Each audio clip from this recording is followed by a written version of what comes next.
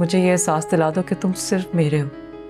तुम्हारी मसरूफियात के बाद जो भी बचा कुचा टाइम हो वो तो तुम मुझे दे सकते हो ना? इस्लाम कबूल करते वक्त आपने मुझे नहीं बताया था कि इस्लाम के 72 सेक्ट्स हैं।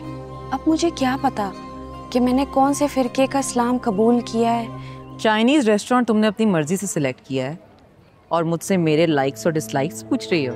नताशा बच्ची थोड़ी है जो मैं उसको संभालूं। मैं बाहर से आया था पढ़ लिख के कि मैं अपना बिज़नेस कर सकूँ यहाँ पे अपने आप अपने आप पे फोकस कर सकूँ। नहीं लेकिन जहांगीर अंकल तो हाँ dad he understands me well उनका मसला नहीं है लेकिन मॉम क्योंकि मैं ग्रीन हूँ।